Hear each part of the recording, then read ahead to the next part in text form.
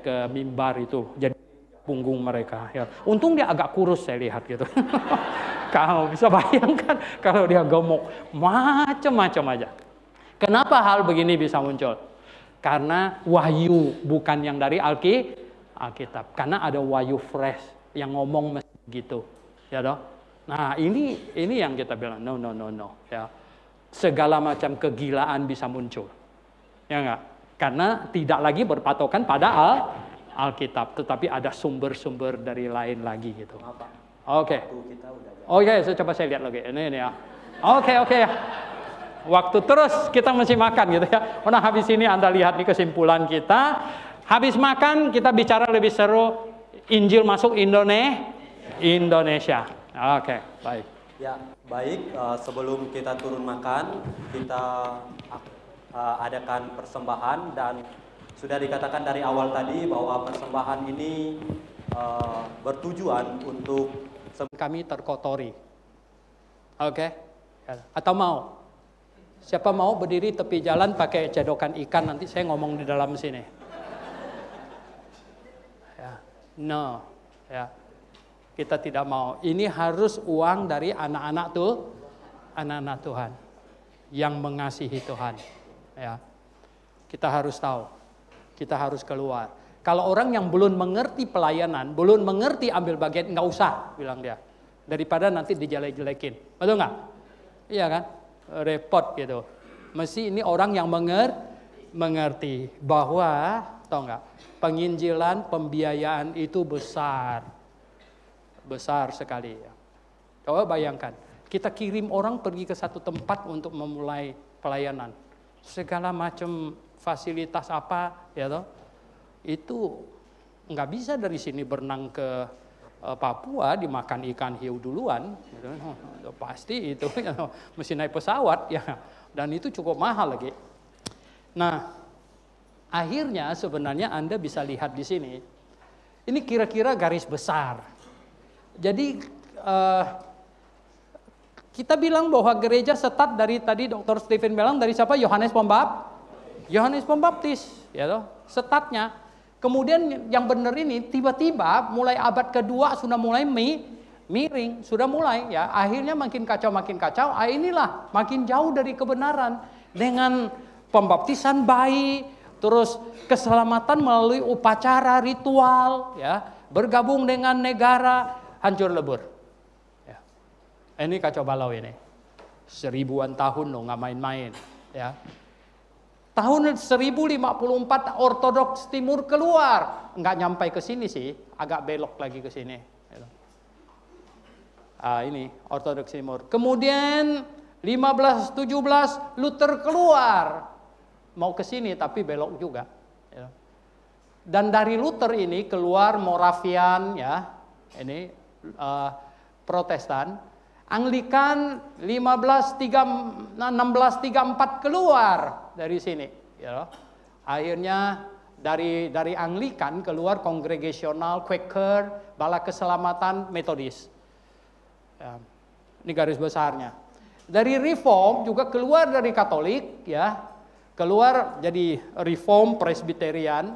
Nah dari sini semua yang Reform, ya, Scot Scotland Reform, ya, Dutch Reform, ya. Kemudian Disciple of Christ, nah, ini keluar dari sini. Ini kira-kira garis besarnya. Kemudian Pentakosta keluar dari sini. Nah, ya kira Pentakosta tadi itu 1886 keluar dari dari baptis. Ya. Sebenarnya ini masih belum lengkap secara keseluruhan. Ini garis besarnya saja, ya loh. Dan yang tadi itu Advent keluar dari mana? Ya enggak. Terus Mormon keluar dari mana dan Christian Sign keluar dari mana, saksi Jehovah keluar eh, dari mana.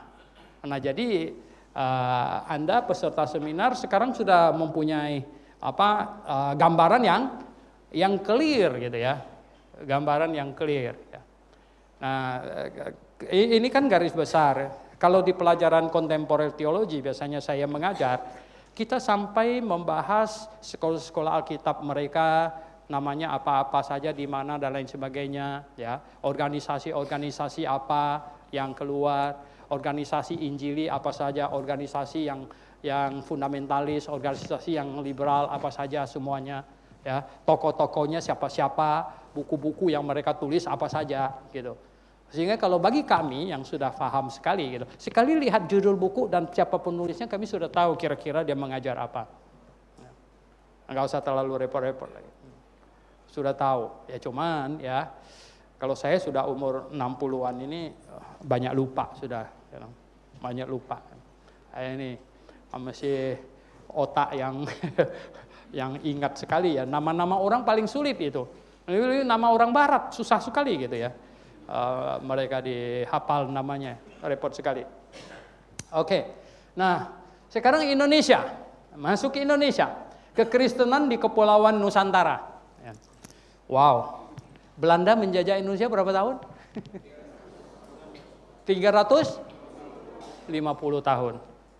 350 tahun. Seharusnya Indonesia itu negara Kristen, betul nggak? Seharusnya.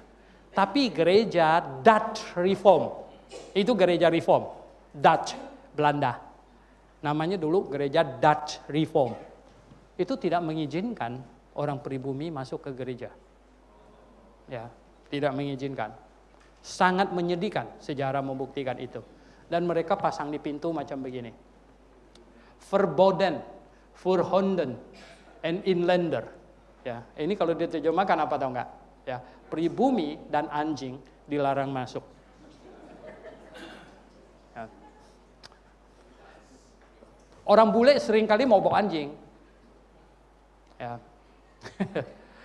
kan mereka jalan-jalan bawa anjing. Jadi pribumi dan anjing nggak boleh masuk. Ya, ini Dutch eh, reform dulu ya.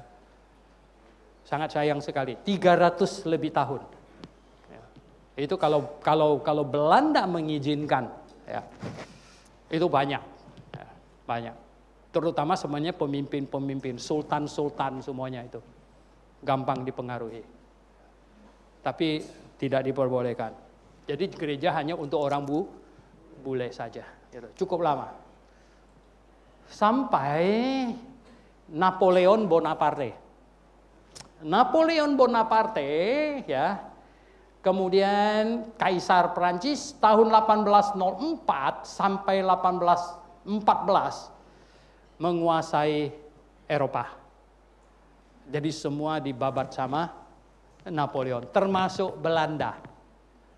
Nah, karena Belanda kalah, yang tidak berhasil dikalahkan oleh Napoleon itu apa? Inggris. Ya. Dan akhirnya Raffles, gubernur ya, Gubernur Thomas Stamford Raffles ya tahu bahwa Belanda kalah di Eropa sama Napoleon, dia mengambil kesempatan bawa 10 ribu tentara dari India nyerbu ke sini, Indonesia. Dan akhirnya Indonesia waktu itu dijajah oleh Ing Inggris. Sayang sekali cuma enam tahun kok dijajah sayang. Sebab kalau dijajah Inggris bagus daripada Belanda. Belum lama ini ada satu bapak itu dari Belanda datang itu, Kim Kur namanya. Ya, wah saya bilang Belanda brengsek loh saya bilang. Pak Kim itu lahirnya di Bandung, jadi dia datang sini mau lihat tempat lahirnya di Bandung. Ya, Andrew bawa dia ke Bandung lihat rumah tempat dia lahir. Ya ya, keturunan Belanda. Oh. Saya bilang, saya bilang kalau Belanda izinkan pemberitaan Injil saja zaman itu, saya bilang Indonesia sekarang look different pasti. Nah, ini tapi nggak diizinkan. Raffles, akhirnya Raffles Inggris menguasai Indonesia. Singkat ceritanya, Raffles banyak orang Kristen menyimpulkan sangat mungkin dia lahir baru. Ya. Karena apa? Dialah yang mengundang misioneri dari Inggris datang. Sehingga ya ini uh, oh ini nggak ada fotonya. Saya cari-cari mereka nggak ketemu fotonya soalnya. Ya. Akhirnya um, ini uh, Robinson adalah yang pertama kali datang. Ya, oh ini dia. Uh, setelah Carey berkonsultasi dengan Raffles, ya, karena Raffles minta kepada Carey, Carey sudah ada di mana? Di India, ya. Carey sudah ada di India, kan India paling dekat ke Indonesia. Jadi Raffles menghubungi Carey, bagaimana supaya Indonesia juga kamu kirimkan misi. Jadi Carey akhirnya, Carey ini kan orang baptis. Maka itu misi baptis adalah yang pertama kali masuk Indonesia selain gereja Belanda. Ya. Jadi Raffles hubungin Carey, Carey akhirnya ini menghubungi Inggris, ya toh, akhirnya William Robinson, ya misioneri baptis pertama ke Pulau Jawa, tanggal 6 Maret 1813 tiba di Batavia. Ya, eh, ini ini berangkat dari Kolkata, tiba 1 Mei. Ini di sini. Dan ya pada tahun 1814 pusat misi baptis di India mengirim dua orang lagi ya misioneri untuk membantu Robinson. Mereka adalah Riley dan William Mail. Nah ini ya lihat tahu nggak bukan di Batavia pusatnya Belanda nggak kasih di Batavia. Lalu mereka pergi ke Semarang. Ya jadi Semarang itu pusat penginjilan yang pertama. Gitu. Ya, dia pergi ke Sema, Semarang. Dua bulan kemudian, nah ini, nah ini ini, ini ya. Pada bulan Mei 1815, berarti satu tahun kemudian, nah ini ini ini ini John Casper, uh, Goldhab Bruckner dan Joseph Kam dikirim oleh London Mission Society. Ah, ini yang baptis bayi dan yang baptis percik. Ah, ini dikirim oleh Netherlands Missionary Society. Ya, kirim, masuk ke Indonesia satu tahun kemudian. Tapi diduluan oleh yang baptis, Robinson, ke Semarang. Nah, saya tidak cukup waktu untuk menjelaskan seluruhnya. Akhirnya, sebenarnya yang menguasai, yang menginjili Indonesia bagian timur itu adalah Joseph Kam. Ya. Ke Ambon, ke ya Sulawesi, ke mana sehingga menghasilkan apa? Yang gereja Maluku, Gemim, Gemit, ah, itu Kam, ya, Joseph Kam. Ya, kemudian ini John Spur tidak lama di sini. Bruckner dikirim ke Semarang. Ya, Goldtap Bruckner dikirim ke Semarang. Nah, dua bulan kemudian Thomas Thorpe, ya, seorang penginjil lain dari misi baptis lagi, dari menyusul Ford langsung dikirim dari Inggris untuk bekerja di Jawa. Sejak kedatangan Robinson pada tahun 1813 sampai akhir masa pemerintahan Inggris di Jawa, ini Inggris akhirnya uh, Napoleonnya kalah lagi, ya apa? Uh, mati ya, ya dah. Akhirnya uh, ini Belanda datang lagi ngambil gitu. di sana dulu di Eropa dulu bilang, eh itu yang di di sana itu balikin kita. Nah, akhirnya Indonesia dibalikan ke mana? Ke Belanda. Ya, Inggris lepas. Nah, waktu itu ya ini uh, pemerintah Inggris di Jawa ya berakhir 1816. Jumlah misioneri di Jawa waktu itu berjumlah 10 orang. Oh, udah bekerja, ya. Nah, Gold, Gottlieb Bruckner ini, oh ini sangat spesial. Dia kan tadinya adalah pembaptis bayi, ya, dikirim ke Semarang ceritanya. Adalah penerjemah Alkitab ke bahasa Jawa yang pertama. Wah, ini orang jago bahasa Jawanya loh. Dia bisa ya, Pak, apa cono coroko itu apa namanya? Ya, ya, nah itu ya, oh dia jago itu ya. Dia orang Jawa semua kalah sama dia tuh. Ya. Dia dia bisa terjemahkan Alkitab ke bahasa Jawa loh, nggak main-main itu. Ya, itu pertama kali dia bikin ya. Nah, Bruckner ini Broken ini waktu itu zaman itu mereka jadi misioneri itu tahu apa? Sangat kasihan tuh istri mereka dan anak-anak. Ya. Anaknya meninggal. Ya. Kemudian yang waktu waktu Belanda ambil alih lagi Indonesia ceritanya, ya toh, semua misioneri yang non Belanda diusir, diusir sama sama Belanda. Jadi Stuart Robinson semuanya diusir. Sebelum itu ceritanya gini dulu. Sebelum itu ya. Baru satu tahun datang si Bruckner ini di Semarang. itu berteman baik dong dengan misi-misi semuanya kan. Akhirnya diceritain-ceritain, benar akhirnya jadi yakin bahwa apa? Baptisan yang benar tuh mesti selam. Dan mestinya dilaksanakan sesudah orang itu dewasa dan mengaku percaya. Akhirnya apa tau enggak?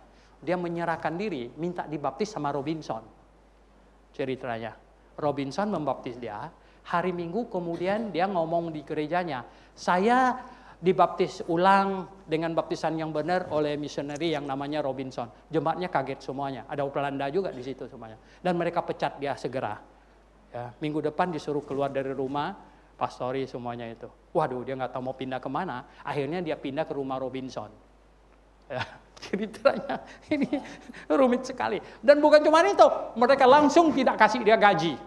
Ya, waduh, Untung Robinson nampung dia di rumah dan kasih makan. Nah ini ya. Dan tidak lama kemudian Robinson kena sakit ya dan meninggal. Robinson. Waktu itu penyakit uh, sederhana saja bisa mati karena obatnya kurang. Gitu, gitu. Cuman malaria mati. Gitu. Demam-demam aja mati gitu. Gitu. Jadi umurnya pendek dan cepat mati gitu. Nah Robinsonnya mati ya loh. Akhirnya gini, pada waktu misioneri sudah banyak, ketika Belanda take over Indonesia dan semua yang non Belanda diusir semuanya, ini Bruckner ini nggak diusir. Kenapa? Bruckner ini jago bahasa Belanda juga karena dia kuliahnya di Belanda gitu. Jadi dia udah dihitung setengah Belanda. Ya. Padahal dia orang Jerman dan lagi dia bukan orang dia bukan orang Inggris. Karena waktu itu yang dimusuhin Inggris ya. Jadi yang Inggris semuanya diusir sama dia punya pejabat semuanya sama misioneri-misionerinya. Jadi Bruckner ini orang Jerman dan jago bahasa Belanda. Jadi dianggap Belanda. Jadi dia tidak diusir. Akhirnya berarti dia satu-satunya tinggal misi baptis. Ada di Semarang. Nah itu dia Bruckner ini menginjil di pasar-pasar sambil belajar bahasa Jawa. Belajar bahasa Jawa. Sampai jago bahasa Jawa bukan cuma omong, ya. Dia Jawanya itu kelas tinggi punya loh. Yang kelas keraton, gitu.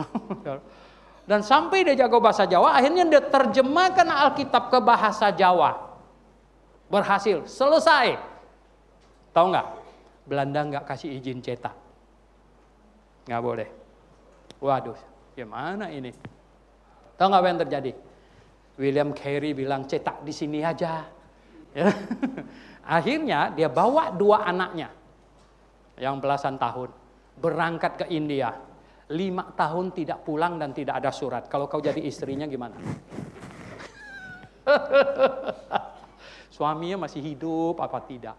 Kan zaman itu nggak ada SMS, gitu, WA. Makanya saya bilang yang kasihan sekali itu adalah istri anak mereka loh. Dia cetak Alkitab di sana lima tahunan nggak pulang. Ya. Dan pos pada waktu itu juga parah sekali. Nah setelah selesai lima ribu Alkitab bawa pulang ke Indonesia dari India ya pakai kapal sampai di pelabuhan Tanjung Priok ditahan sama Belanda nggak boleh keluar. Nah, ya, Wow, ya toh. Akhirnya Bruckner mohon-mohon diizinkan bawa beberapa. Ya, beberapa saja yang bisa dia bawa keluar. Nah ini uh, parahnya ya pemerintah Belanda waktu itu. Akhirnya ya, jadi akhirnya dia cukup lama di di di Belanda apa di di Semarang ya. Makanya uh, baptis yang di Semarang itu itu jejak ya pelayanan misi-misi baptis pada saat itu. Nah, kita lihat eh, kemudian eh, sebenarnya awal-awal dia kan 18, 13, 15, 16 ya. Nah, ini sudah zamannya Belanda, datang dua orang ya, datang dua orang ini rencana mau pergi ke Tapanuli ini ya. Orang Batak itu sih sayang Tuhan. Luar biasa. Ya enggak? Saya bilang orang Batak kalau enggak sayang Tuhan itu kelewatan. Tuhan sayang kamu. ya kan? Tahun 1834 ya dua orang dari Boston, dari gereja Baptis itu Boston, ya. Kirim satu orang namanya Henry Lehman, satu orang namanya Samuel Munson. Ya. Datang ke Jakarta tiba tahun 18 ini 34 ya toh. Eh, rencananya tujuan utamanya adalah ke Tapano, Tapanuli di sana. Ya. Akhirnya naik kapal berlayar dari Batavia menuju ke Padang. Berminggu-minggu lama itu kan, walaupun dekat padahal loh. Karena tergantung angin segala macam, akhirnya berminggu-minggu tiba di uh, Sibolga. Ya. Tiba di Sibolga, kemudian mereka sebenarnya dinasehatkan supaya kirim dulu utusan ke sana. Mereka sangat pede, nggak apa-apa kita datang damai kok katanya. Eh, hampir dekat Tarutung itulah disergap ya sama orang Batak gitu. Mereka bawa penerjemah. Penerjemahnya orang Padang yang Islam lagi. Coba bayangkan. Ya. Dan waktu ketemu orang Batak keluar dari semak-semak ngomong-ngomong, dia nggak tahu penerjemahnya ngomong apa. Mungkin bilang sikat aja nggak apa-apa nih ya mati. Nah kita kan nggak tahu gitu. Lah kita bisa bayangkan gitu. Gimana? Akhirnya setelah ngomong-ngomong-ngomong begitu, tau nggak apa? Ya itu kan orang Batak itu udah siap segala macam tombak segala macam, tau nggak? Tiba-tiba penerjemahnya kabur gitu loh. Lari ya, mereka dua ditinggalin kacau balau gitu ya. Akhirnya satu ditombak, satu ini akhirnya mati duanya gitu di situ. Ini saya udah lihat kuburnya nih, kuburan di situ. Gitu. Sayang sekali ya loh. Nah, akhirnya matilah tahun 1834 tahun 1834 inilah Nomensen lahir. Akhirnya tahun 1860 sekian ya Nomensen datang lagi kembali. Ah, coba kita lihat. Ah ini ah, Deninger, Deninger, Deninger, Deninger datang. Nah ini yang ini misi Jerman, misi Jerman. Ah, ini bahasa Jermannya apa lagi? Saya lupa ini. Re apa re apa. Ini nanti ada itu kalau nggak salah. Dari misi RMG ya, RMG ini datang Deninger Deninger ini tadinya misinya mau ke Kalimantan punya tahun 60 61 dia mau ke Kalimantan tetapi Kalimantan waktu itu terlalu sulit masuk akhirnya uh, misinya alihkan dia ke Sumatera. Waktu sampai di daerah Sido, Sibolga sana menginjil-menginjil orang Padang, ketemu orang Nias bilang ayo nyebrang aja ke ke pulau di sebelah sana. Akhirnya Deninger pergi ke pulau Nias di situ. Nah ini Alkitab terjemahannya. Surah ini Amoniho. Ayah, mana ini orang Nias? Apa katanya? Hah? Metode membaptis mereka tidak bisa putus, akhirnya di voting. Tahu nggak hasil votingnya apa? Yang baptis salam cuman kalah satu suara. ya. Jadi Anda bisa bayangkan, di presbiterian loh, pemimpin semuanya. Waktu mereka voting, mau dibaptis salam apa percik, yang percik cuman menang satu suara. Itu. Nah, kemudian CIM OMF ini yang tadinya misi ini namanya CIM, CIM ini didirikan oleh Hudson Taylor, yaitu China Inland Mission yang pergi ke Cina. Akhirnya meluas setelah Cina tertutup komunis karena segala macam, akhirnya ubah namanya menjadi OMF, jadi Overseas Mission Fellowship. Nah, jadi banyak misi-misi yang tadinya dikonsentrasi ke Cina tahun 1948 waktu Cina jadi komunis total, mereka semuanya keluar. Bule tapi jago-jago pakai bahasa Mandarin, bahasa Hakka segala macam. Nah, larinya ke mana? Ke Asia Tenggara di sini. Banyak. Nah, inilah yang menghasilkan banyak gereja Tionghoa sebenarnya di, di Jakarta ini. Termasuk gereja baptis yang di Samanhudi itu. Ya itu kenapa namanya gereja baptis? Ya, itu karena misioneri baptis yang dirikan. Gitu. Mereka keluar dari Cina waktu itu karena Cina sudah tertutup, tertutup sudah lari. Ya. Nah kita lihat ya ini akhirnya menjadi OMF. Ya. Kemudian ada misi yang namanya RBMU, Region Beyond Missionary Union. Nah ini yang uh, didirikan oleh ini ya Henry uh, Gretton Jenis. Nah ini 1873 mau mendirikan. Nah, ini banyak operasinya di Kalimantan dan di Papua segala macam RBMU. Ya. Dan di dalamnya banyak orang baptis. banyak orang baptis. Kemudian ada mission, mission board yang namanya WEC. Nah, ini WEC ini World Evangelical Commission. Nah, ini juga banyak uh, di daerah Kalimantan dan juga Papua segala macam. Ya. Dan mereka ditunjang oleh satu misi yang sebenarnya hebat sekali yang dipanggil MAF ya, Mission Aviation Fellowship ini yang pakai pesawat. Ya, jadi uh, misi satu ini dia tidak uh, konsentrasinya bukan khotbah tapi pakai pesawat menerbangkan misioneri ke daerah-daerah terpencil gitu. Ya. Oh, pilotnya jago-jago. Ini banyak pensiunan pilot perang dunia kedua. Ya. Saya kenal satu yang sudah tua sekali yang disebut Pak Bob itu. Weh, kalau naik pesawat dia dia suka main-main loh. Takut nggak dia bilang. Enggak, enggak, enggak takut, enggak takut. Dia, enggak takut, dia, gitu, gitu. dia udah, nah, dia bawa pesawat perang dunia kedua kok. ya, jadi, wow, ini yang main-main dengan pilot satu ini. Dia suka, dia suka bergurau. Orangnya sangat, sangat ini, sangat apa, sangat, sangat funny gitu ya. Seringkali ini. Nah, ini Mission Aviation Fellowship ya. Kemudian Ah, ini Etno 360. Sekarang mereka ubah nama jadi Etno 360. Tadinya itu adalah NTM ya. NTM ini New Tribe Mission. Ah, New Tribe Mission ini yang banyak operasi ke Papua ya.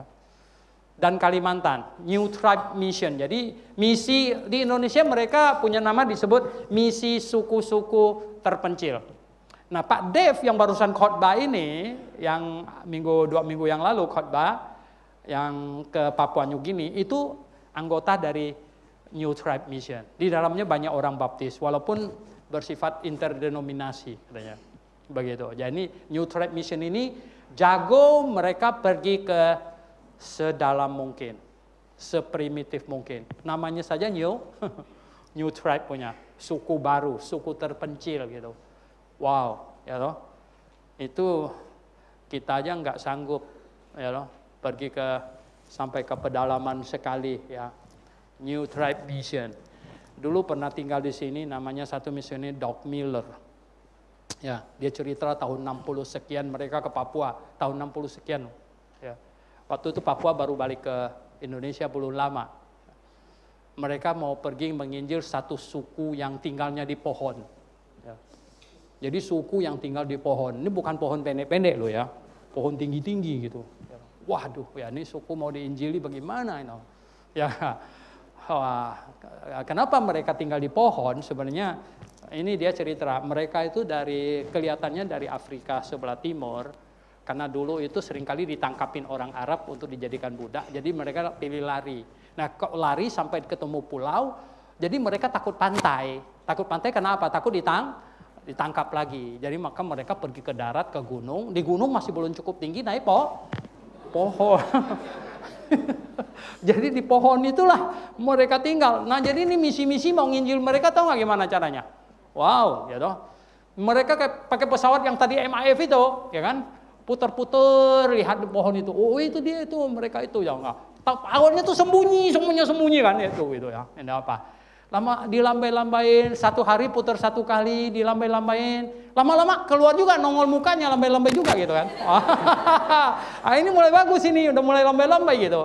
Nah, mereka putar-putar lagi, lambai-lambai lagi katanya. Terus apa dong nggak? Mereka kasih parang. Dibungkus ya, kasih parang, lempar. Kasih parang. Wah, mereka turun dari pohon ambil ini ya loh, paketnya. Lihat parang. Wow, bisa pakai potong apa? potong kayu, akhirnya mereka dikasih sekop, ya, kasih kapak segala macam begitu. Akhirnya apa? Suku itu menjadi yakin bahwa ini bukan mau bukan musuh. Musuh nak mungkin kasih kita parang, ya loh.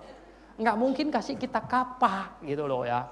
Jadi mereka akhirnya pesawatnya putar-putar lagi, lambainya lebih seru lagi gitu. Wah, lambainya seru lagi gitu. Nah, setelah lihat lambainya sudah seru, sudah apa, baru mereka tempuh jalan darat. Ya. Mereka tempuh jalan darat, bawa parang juga, bawa arah ini kasih sama mereka gitu ya. Wah, mereka heran-heran katanya, heran-heran gitu ya. Terima ya toh. Ah, jadi tidak memu tidak memusuhi, pelan-pelan gitu ya. Belajar bahasa mereka diinjili. Oh, saya katakan ya, tidak banyak kita sanggup lakukan itu. Betul? Ya. Wah, saya bilang saya salut dengan uh, mereka juga itu ya. Nah, akhirnya saat Perang Dunia Kedua, pelayanan misi terhenti. Ya ini, pelayanan misi terhenti total. Iblis dua kali bikin perang dunia. Sebenarnya kalau kita lihat dia punya gerak dan timing semuanya, itu iblis bikin perang dunia ini untuk hentikan pemberitaan Injil. Ya. Untuk hentikan pemberitaan Injil. Sebelum perang dunia kedua, pemberitaan Injil itu begitu masif. Karena hampir sebagian besar dunia ini dikuasai oleh negara Kristen. Ya. Semua Afrika itu Perancis sama Inggris segala macam itu. Setelah perang dunia kedua, banyak tempat tutup.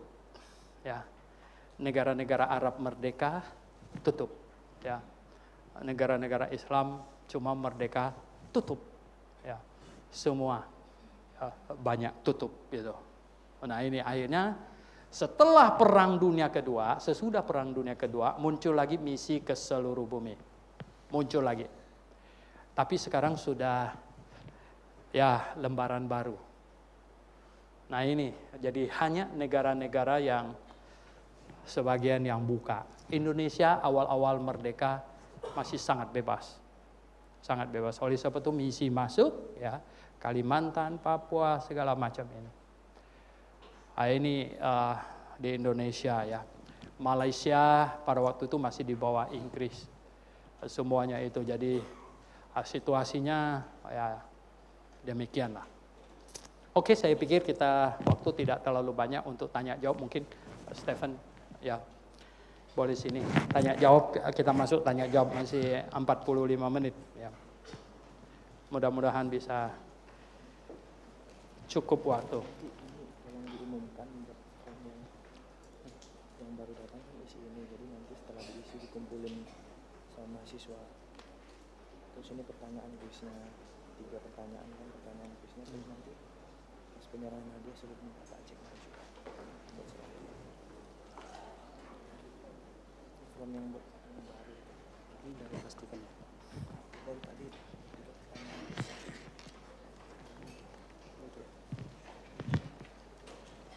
Apa? Ya baik uh, jadi dari panitia sudah mempersiapkan uh, feedback from. Ini khusus buat yang baru minta tolong untuk diisi. Dan di situ ada dan nanti ada pertanyaan kuis di dalamnya silakan untuk dijawab ya. Dan juga uh, setiap pertanyaan itu akan ada hadiahnya. Jadi ada tiga pertanyaan dan nanti juga ada hadiah yang akan diberikan Baik, uh, kita masuk ke dalam sesi tanya jawab dan untuk lebih teratur saya akan uh, memilih dari sebelah sini, sebelah kanan saya itu satu orang dan di tengah satu orang dan samping kiri saya satu orang. Jadi ada tiga pertanyaan. Yang jelas dulu tengah itu yang mana gitu? Ya, jadi antara di tengahnya ini ada yang di sebelah sini, sini sama dan sini. sama sini. Hmm, ya, okay. Jadi itu ada satu pertanyaan. Dan di samping kanan saya ada satu pertanyaan dan di sebelah kiri saya ada satu pertanyaan. Baik, uh, langsung saja dari sebelah kiri saya tunjuk tangannya, sebutkan namanya dan tempatnya di mana. Sebelah kanan saya. Uh, minta tolong teman-teman mahasiswa untuk membantu. Tes, tes, tes. Selamat siang. Selamat siang. Ya, nama saya Evan, saya dari Jakarta. Uh, saya ingin bertanya tentang yang tadi disampaikan oleh Pak Steven, yaitu zaman sesudah Rasul. Ini kan ada kelompok namanya kaum Novatian. Dan mereka juga di sini menuntut gereja yang murni dan memisahkan diri dari Katolik, gitu ya. Nah, mereka juga membaptis ulang uh, orang-orang begitu. Apakah mereka juga termasuk dalam anabaptis atau tidak? Terima kasih. Ya, langsung dijawab. Nanti uh, Ya. kita atur waktunya biar semuanya dapat kebagian. Tes, tes, tes. Iya. Em, Iya, jadi mereka bisa dianggap sebagai bagian dari uh, proto Anabaptis begitu, Em, walaupun mereka tidak pernah dijuluki Anabaptis, tetapi uh, istilahnya begini. Jadi kalau dibilang gereja baptis itu dimulai kapan? Nah ini banyak orang punya banyak pendapat. Kalau dibilang gereja mana yang paling pertama punya pelang atau menyebut diri inilah gereja baptis titik titik titik titik. Nah itu katanya mulainya itu abad 17 yang pakai benar-benar pelang mereknya itu gereja apa? Gereja baptis begitu ya. Tetapi sebenarnya yang kita pentingkan itu bukan namanya. Tetapi yang kita pentingkan itu adalah pengajarannya begitu. Apakah ada gereja-gereja dengan pengajaran seperti gereja baptis dari dulu? Nah, ternyata ada, walaupun namanya mungkin berbeda-beda. Ya contohnya tadi kaum Waldensian, ya pengajarannya mirip, banyak mirip. Ya kaum Albigensis dan sebagainya. Nah, jadi eh, termasuk waktu yang nama Anabaptis itu sebenarnya nama Anabaptis itu muncul terutama di masa reformasi. Baru mereka disebut Anabaptis pada waktu itu, di zaman-zaman reformasi. Nah sebelum itu ya mereka disebut dengan berbagai nama. Nah kaum Novatian ini termasuk yang agak awal. Jadi kalau kita lihat sejarah kan ada abad 1, abad 2, abad 3. Novatian itu sekitar abad 2 dan 3 jadi agak awal. Abad 3 lah begitu. ya. Nah baru nanti di abad keempat ada yang kaum Donatis yang kita sebut tadi. ya. Kemudian di abad kelima, keenam nanti beda-beda lagi, lain-lain lagi. Karena kaum-kaum ini kebanyakan juga eh, kadang-kadang dihancurkan, dihancurkan, nanti belakangan di tempat lain muncul lagi dengan nama lain lagi, kan? dihancurkan lagi, nanti muncul lagi di tempat lain, namanya lain lagi, dan sebagainya. Nah, jadi em, kaum Novatian ini boleh dibilang memiliki banyak kemiripan dengan yang disebut Anabaptis di zaman-zaman reformasi. Jadi di zaman-zaman reformasi itulah nama Anabaptis itu muncul. Begitu. Ya, baik, terima kasih. Boleh pertanyaan kedua? Eh, tidak? maaf, eh, kita hanya menyediakan satu pertanyaan buat satu tempat. Jadi untuk pertanyaan selanjutnya silakan dilanjutkan ketika selesai eh, acara seminar ini. Masih bisa bertanya, tapi selesai acara ini. Baik, yang di tengah saya persilakan. Tadi Yang- bapak, Bapak yang biru, yang biru, yang bapak ya, Ah, Yang biru. hmm, ya duluan. Ya.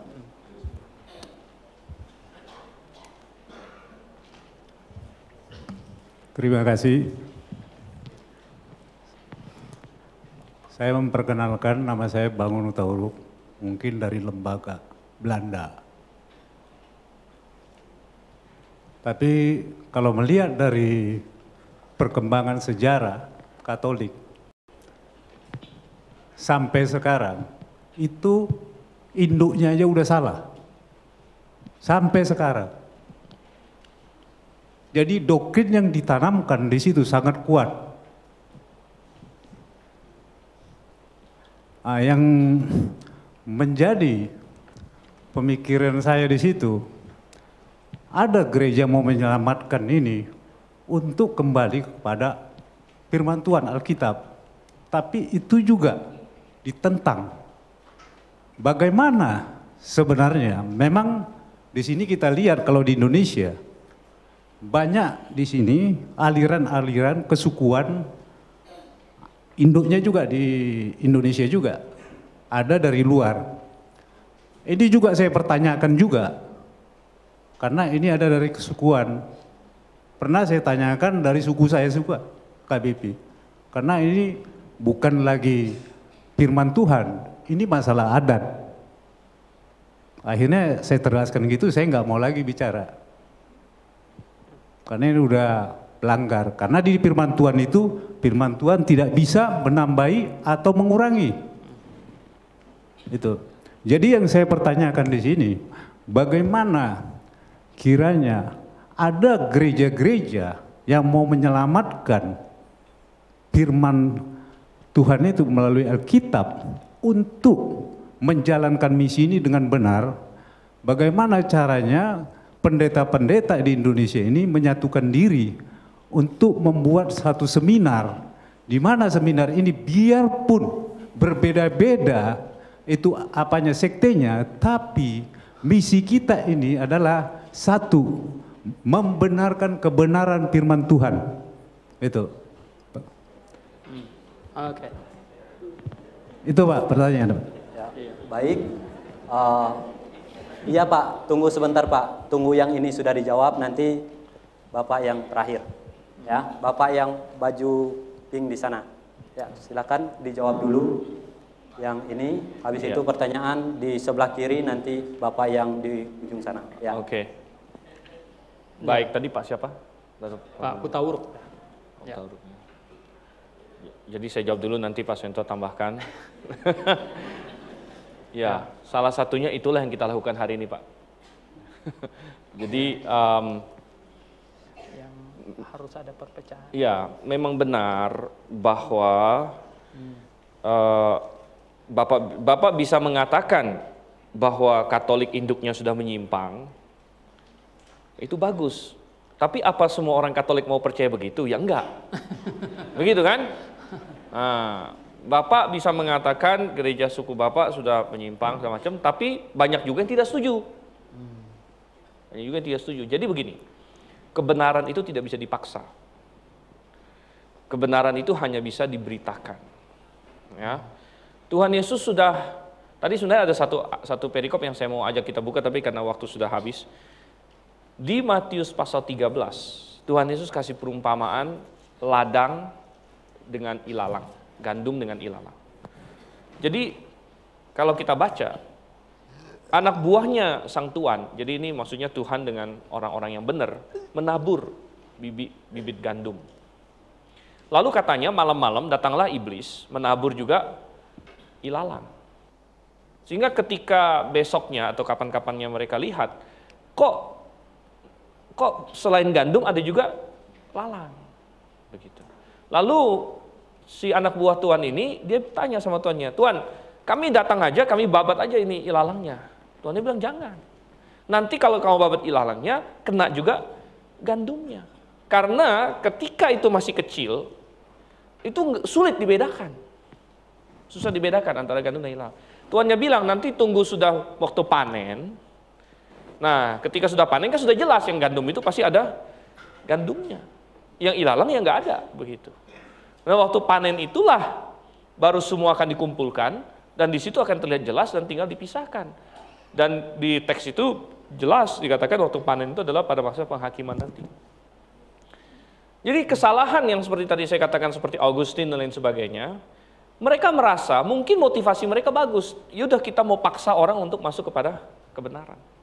Tetapi ketika kita mulai memaksa orang masuk kebenaran, maka itu bukan kebenaran lagi. Begitu. Itu sudah pasti akan menjadi kesalahan nanti. Ya.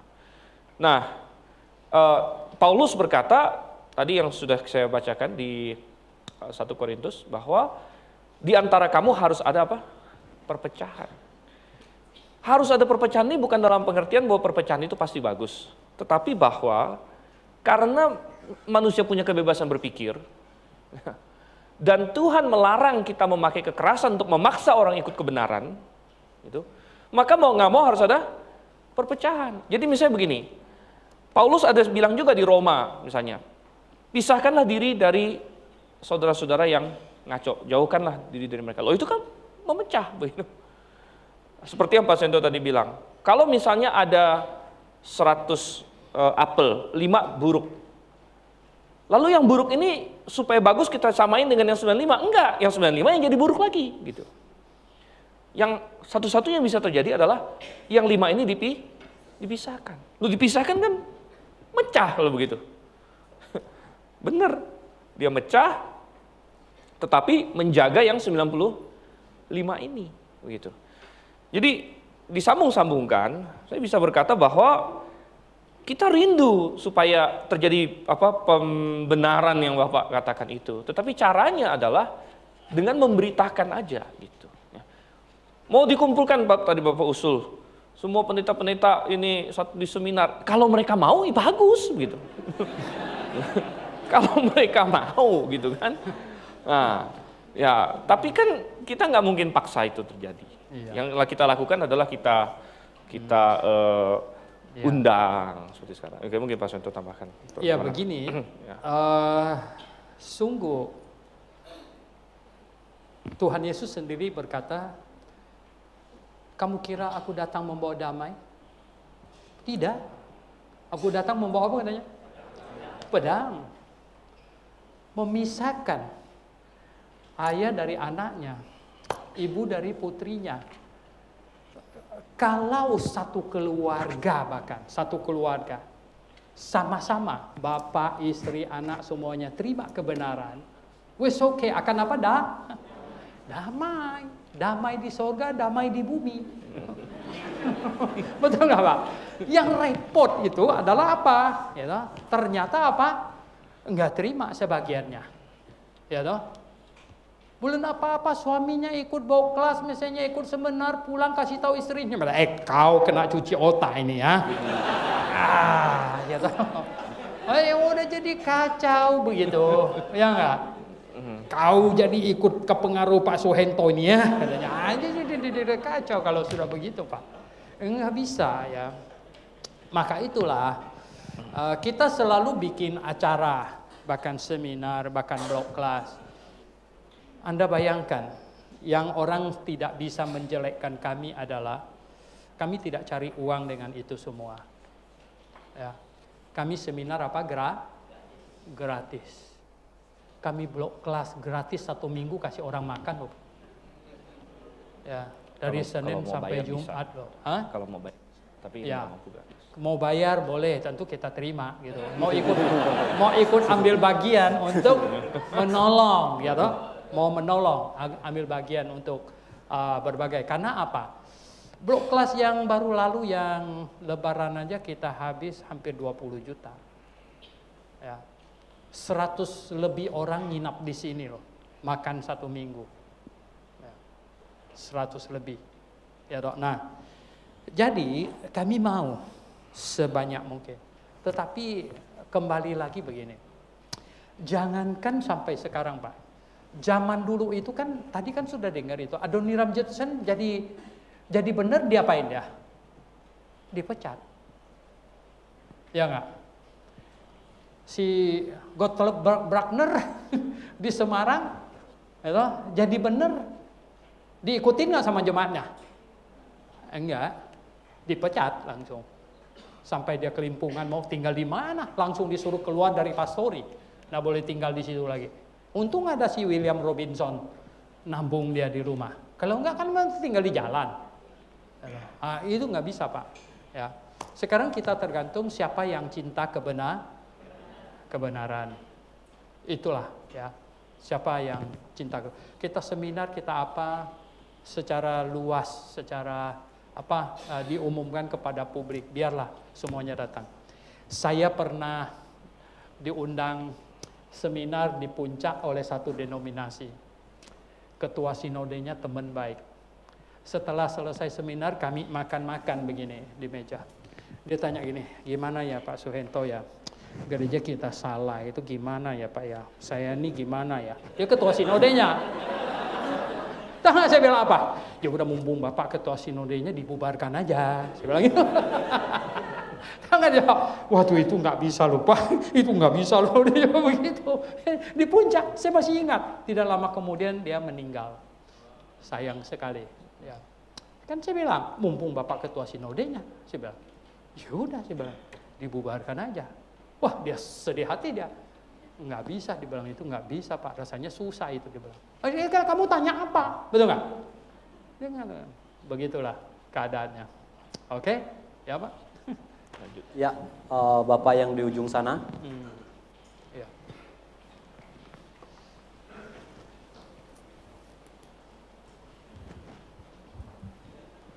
Siang Pak Suento, nama saya Abraham dari Kelapa Gading. Saya mau tanya ini kepada Pak Suento, Alkitabiah tidak. Saya baru kali ini menghadiri gereja, nggak jauh dari sini. Nggak jauh. Ya. Dia baptis orang itu ada enam, sering baptis orang. Setelah dia baptis, sebelah sini laki-laki, sebelah sini perempuan, dia ajarkan sakramen pencucian kaki. Saya lihat karena saya hadir, yang gembalanya laki membaptis, yang laki-laki, istrinya yang perempuan membaptis kaki perempuan. Dia ajarkan kepada kami semua, ya karena jemaat, saya bukan jemaat, ya, saya cuma pelancong aja. Saya kaget, dia bilang sakramen pencucian kaki itu benar. Dia bilang, kenapa? Dia bilang, Petrus, kamu tidak dapat bagian dalam kerajaan Allah jikalau aku tidak membaptis kamu. Jadi yang betul adalah setelah Anda dibaptis, saya harus mencuci kaki Anda supaya Anda masuk dalam kerajaan Allah. Nah pertanyaan saya bagaimana itu Alkitabiah atau tidak Pak Sento? Terima kasih. iya.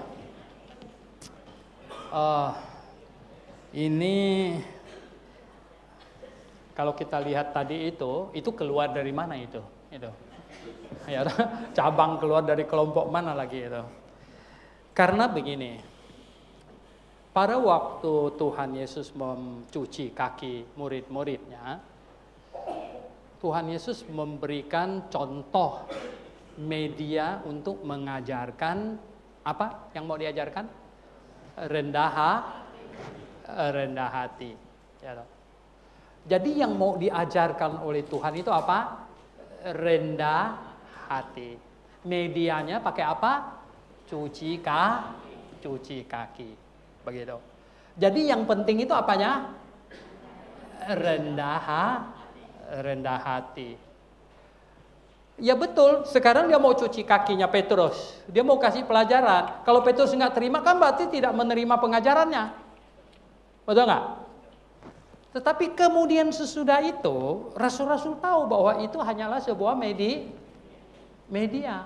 Oleh sebab itu kita tidak baca sama sekali di kisah para rasul di mana ada diulangi rasul-rasul saling cuci kaki.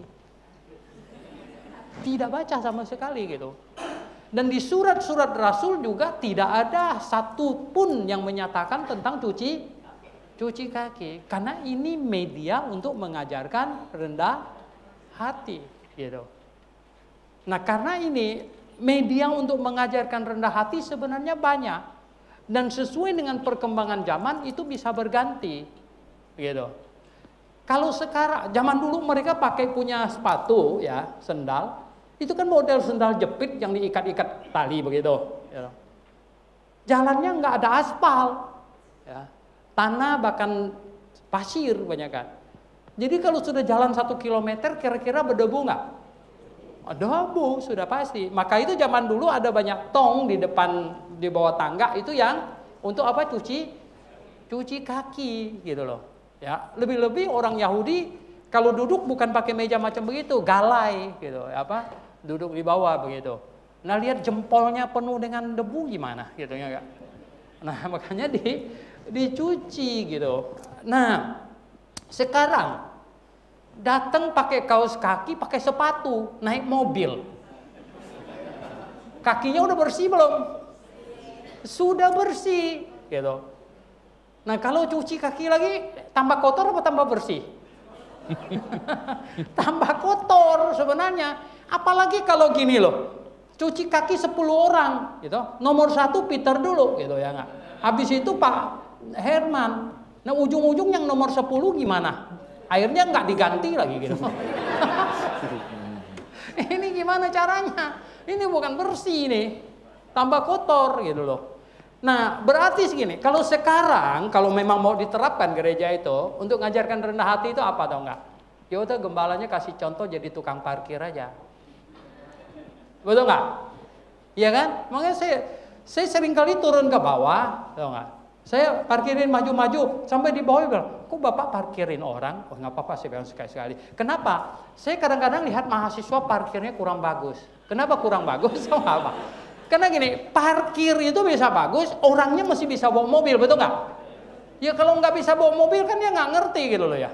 Ah, yang bisa ngerti, yang bawa mobil itu kan yang ngerti sekali sebenarnya mau gimana ya toh. Lagi lagi lagi lagi lagi hantem nanti ya kena mobil. Aduh, ya toh. Ini kan nggak boleh lagi-lagi punya gitu ya toh.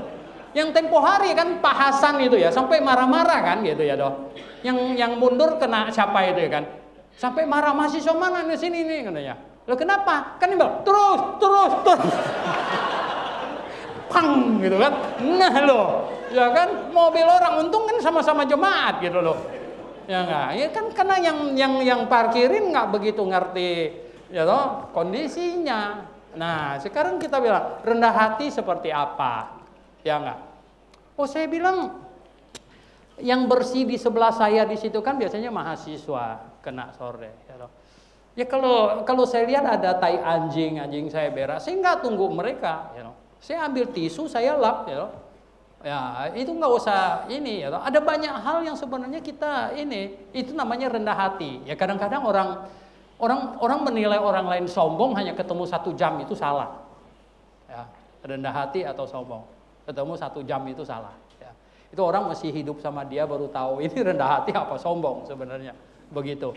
Nah, sebenarnya Tuhan mengajarkan rendah hati. Waduh, cuci kaki dilap-lap ya toh kena kidik-kidik bagian bawah kan geli sekali gitu. Gimana sih kita ini? Aduh ya toh. Nanti jadi masalah lagi gitu ya enggak? Waduh, ini makanya hati-hati Pak, Pak Abraham ya toh.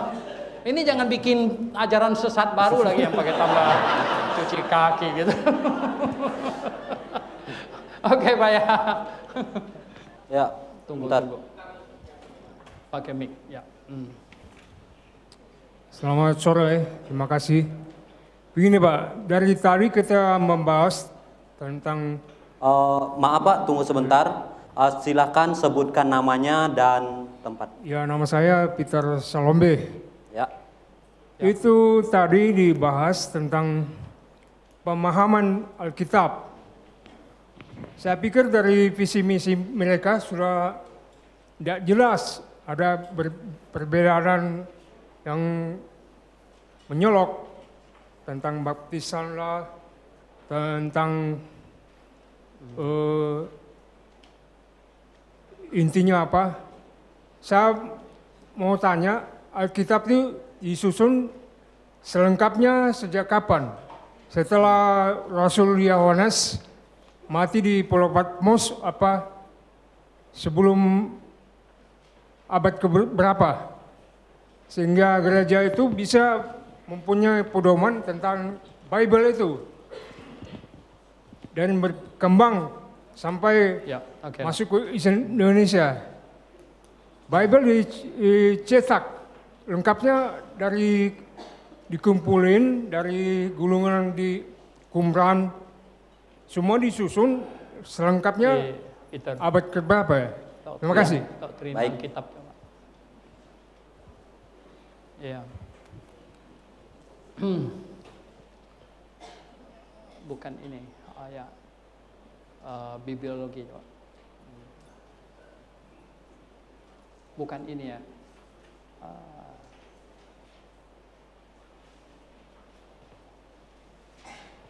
dia bukan buka yang libre sih, dia buka yang yang yang koral dia buka ini nggak bisa ini Eh, ya udah. Salah ya. Eh bener? Nanti error. libre nggak? Ya oke oke. Di roll lagi roll. Roll ke bawah. Roll ke bawah. Roll lagi. Roll lagi ke bawah. Ya. Ah, roll lagi. Ya. Roll lagi. Ya. Oke oke. Oke ini ini ini. Ini nih ya ya jadi begini eh, setelah Yohanes selesai tulis kitab Wahyu Ya. Artinya gini, Matius juga selesai, semuanya selesai. Yang terakhir kan adalah siapa? Yoha, Yohanes, ya, kitab Wahyu. Nah, karena tidak ada percetakan dan belum ditemukannya kertas, maka tulisan mereka itu dalam bentuk kulit, perkamen dan lain sebagainya. Nah, karena bahannya yang begitu tebal, ya, maka itu eh, satu satu kitab saja Injil Matius itu biasanya mereka itu digulung itu sebesar bantal guling begitu. Nah, bagaimana mau seluruh perjanjian baru kan tidak mungkin bisa di disatukan, ya tidak bisa. Nah, eh, sejak ditemukan kertas itu pun belum bisa disatukan karena belum bersifat dice dicetak gitu. Kalau ditulis tangan juga akan banyak dan ini. Nah oleh sebab itu sebenarnya Alkitab disatukan, dicetak satu itu pada tahun 1502 ini pertama kali Alkitab ini gini Johannes Gutenberg menemukan mesin cetak 1440 1502 selesai cetak Alkitab tapi dalam bahasa Latin. Ya. Jadi Alkitab bahasa Latin. Tidak banyak orang bisa baca. Hanya orang-orang yang belajar bahasa Latin waktu itu. Nah, kemudian baru berkembang-berkembang. Sebenarnya Katolik berhasil mencetak yang perjanjian baru yang bahasa Yunani 1514 ya PL 1517 tetapi tidak tidak itu disimpan saja enggak di go public gitu. Karena itu tadi bahwa mereka takut pergolakan gitu. Ya maka itu tahun 1516 baru Erasmus ya berhasil mengedit dan cetak keluar gitu lempar pasar ya nah barulah perjanjian baru dalam bahasa Yunani itu bersifat satu buku macam begitu. Ya. Sebelumnya itu kan ya apa ya di lembar-lembar ceceran begitu ya. Jadi uh, tidak bersifat di combine jadi satu gitu karena uh, bahannya dan semuanya itu menyebabkan besar sekali bagaimana gitu. Nah, itu keadaannya. Oke, Pak Peter? Ya, jelas? Ya, baik. Uh, buat kita semuanya dan dengan begitu acara kita eh, selesai. Masih 10 menit dong boleh nah. Oh ya. Coba kamu lihat itu. Hmm, ya boleh. Bapak yang di sana. Ah, ah, itu orang di belakang kasih lihat, kasih lihat. Yang di sana. Ah, siapa yang duluan gitu? Ayo. Kenapa mau cepet-cepet? Kenapa?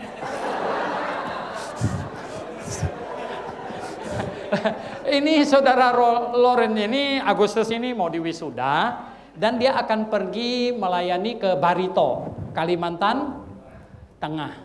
Ya, jadi akan akan melayani memulai jemaat ke kota Barito gitu ya. Baik. Belum belum ke Barito masih lama kok gitu ya. Kita beresin dulu ini. ya, baik, silakan. Uh. Terima kasih, saya Pak Nababan. Uh, melihat sejarahnya Pak, saya lihat banyak sekali eh, konflik-konflik uh, yang terjadi dari uh, satu ini ke lain. Membuat mungkin banyak orang bertanya, sebenarnya Tuhan mengizinkan nggak konflik itu terjadi di dalam pembaharuan atau pembentukan iman seseorang. Bahkan orang jadi bertanya-tanya, sebenarnya mana yang lebih didulukan, ketaatan atau pemahaman? Itu aja Pak, terima kasih. Ini mirip dengan yang kamu jawab tadi, coba. Iya, yeah, um, baik. Jadi begini Pak, kalau ditanya apakah konflik itu diizinkan Tuhan, ya sudah pasti diizinkan. Karena uh, diizinkan itu belum tentu di, direstui ya. Jadi kita harus membedakan antara izin dalam pengertian izin kedaulatan Tuhan dengan izin dalam pengertian Tuhan senang sesuatu itu terjadi. Gitu. Jadi um, kalau kita bicara kedaulatan Tuhan, kita berkata semua yang terjadi di dunia ini pasti diizinkan Tuhan dalam pengertian izin kedaulatannya. Tapi tidak semua berarti Tuhan restui, artinya Tuhan senangi. Gitu. Seperti manusia jatuh dalam dosa, yaitu Tuhan izinkan. Tapi Tuhan tidak senang itu terjadi tentunya. Jadi seperti tadi kita melihat dalam sejarah ada begitu banyak konflik. Ya. Uh, konflik baik itu konflik rohani sampai menjurus ke konflik fisik, penganiayaan dan lain sebagainya. Ya. Jadi um, ya itu semua terjadi. Ya. Kenapa bisa terjadi? Ya karena ada dosa di dunia ini. Begitu. Sama seperti kenapa ada perang, kita bisa bertanya begitu. Nggak usah kita ngomong agama, kenapa bisa ada perang dunia satu, perang dunia kedua, perang kemerdekaan Indonesia, perang apalah semua yang lain. ya, perang itu kan saling bunuh-bunuhan gitu. Kok Tuhan bisa izinkan? Ya, ya karena manu, Tuhan kasih manusia kan kendak bebas. Gitu. Jadi um, termasuk dalam hal pengajaran, ya Tuhan memberikan kepada manusia kendak bebas.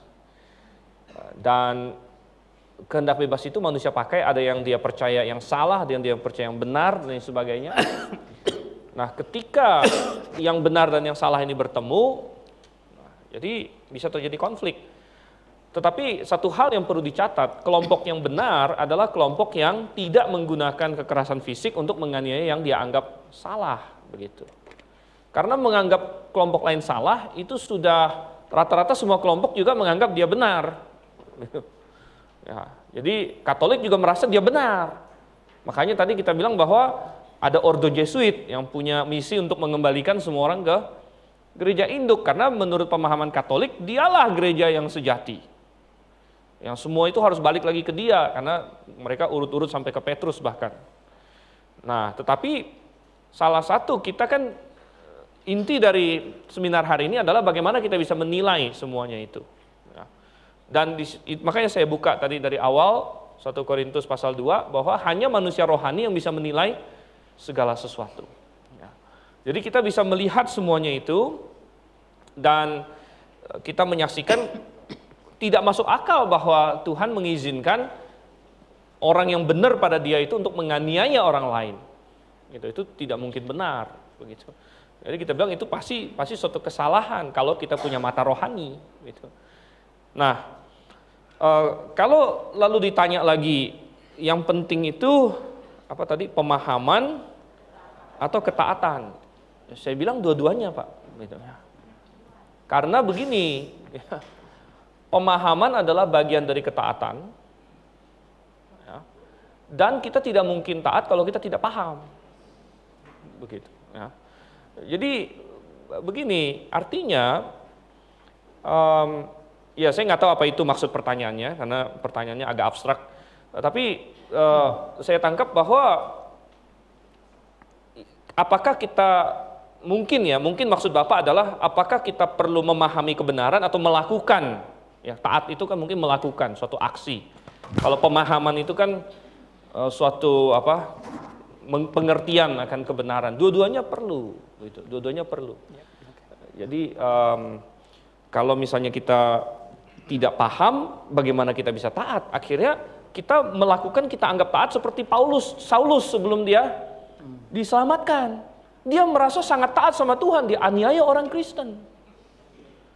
Tapi dia kurang paham gitu. Akhirnya baru dia disadarkan oleh Tuhan baru dia oh ternyata saya salah. Yang saya anggap saya sangat taat itu salah sebenarnya. Gitu. Dan kalau kita mau taat sama Tuhan pun kita akan mencari kebenaran, mencari pemahaman. Jadi makanya saya bilang itu satu satu paket, satu siklus. Kalau kita taat, kita akan mencoba untuk paham. Kalau kita paham, kita akan taat. Gitu. Mungkin begini, Pak siapa namanya? Tadi Pak Nababan. Ya. Kalau orang sangat taat, tapi taat kepada sesuatu yang salah, wow, ya bisa pikul bom, ya, bisa hancurkan banyak ini ya maka itu yang paling ditakutkan oleh dunia sebenarnya yang paling ditakutkan oleh Amerika adalah orang jahat di tangan orang jahat punya senjata nuklir. Ya. Oleh sebab itulah uh, mereka berusaha setengah mati agar Kim Jong Un ya, mau sedikit uh, ngalah ya, dan agar Iran jangan sampai dia punya apa bom nuklir karena kalau mereka sangat taat tapi kepada yang salah, wah itu bisa jadi malah petaka besar itu. Ya. Nah, oleh sebab itu saya selalu berkata begini, ya. Uh, di atas segala-galanya adalah kebenaran, adalah cari yang be yang benar, oke? Okay? Karena apa? Banyak orang sangat rajin sangat taat, sangat berkorban. Wow, korbannya sampai habis-habisan malah. Ya, rajinnya luar biasa, semangatnya juga segala macam. Ternyata bukan pada yang benar, Pak, tapi pada yang sah, yang salah. Celaka semuanya itu. Ya, oleh sebab itu uh, di atas segalanya, ya kebenar apa tapi taat sama apa tadi? Pema, pemahaman. Cari yang paling be yang paling benar. Tadi sudah dikasih tahu hintsnya eh, kalau yang sudah coba-coba pakai kekerasan 100% itu tidak benar punya. Ya, 100% ya, tidak benar. Karena kebenaran kebenaran tidak boleh dibela dengan kekerasan. Tidak boleh. Jadi tidak ada tidak ada rumusnya. Kebenaran boleh dibela pakai ya kekerasan. Nah, itulah sebabnya belum tercatat dalam sejarah orang baptis menganiaya orang, Pak. Tidak ada di dalam sejarah. Gereja baptis di Amerika bisa berkembang begitu dahsyat, begitu hebat, sampai menjadi mayoritas dan tidak memakai posisi mayoritasnya untuk menganiaya yang lain. Tidak memakai itu. Dan gereja baptis di Amerika sampai mayoritas yang diperjuangkan adalah bahwa harus ada kebebasan beragama, bebas berpikir, bebas percaya. Itu yang disebut First Amendment. Jadi gini, ketika Amerika sudah merdeka, dengan undang-undang dasar yang ada pada waktu itu, orang baptis tidak happy. Orang baptis tidak happy. Mereka baca, ini tidak ada jaminan. Ya, ini lama-lama lama-lama lagi nanti gereja mau akan ya loh, memakai kekuatan pemerintah untuk sikat yang lain lagi gitu. Waktu itu dipimpin oleh Gembala Leland dan beberapa lagi dan mereka datang kepada Thomas Jefferson kalau tidak salah, Madison. Madison ya. Dan mereka datang kepadanya, kami orang baptis tidak happy dengan undang-undang ini. Loh, undang-undang ini kan udah sangat bagus. Ya loh. Kenapa pula kalian bisa tidak happy?